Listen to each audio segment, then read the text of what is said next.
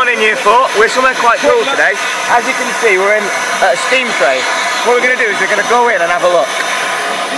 Right, come on in. you like that It's quite fire? exciting. you like the fire? Over the far side, please. Over the far side. Stand behind the fireman. Um, if you can see, here's where the furnace is, where they put the coal. There's the coal, and it makes the front bit set off steam and sets off the engine. How cool is this? Have a good day.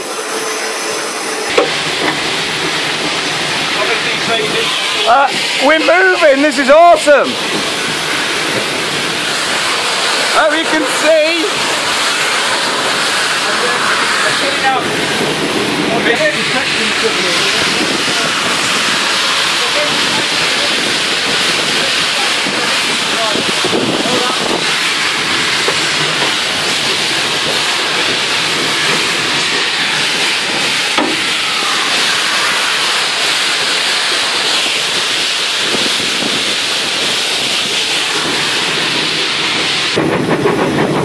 Um, we're going pretty fast now. I'm going to show you how long the train is so you can see how powerful this engine is.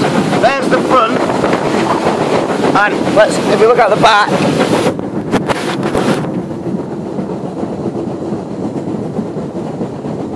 it's pretty sweet.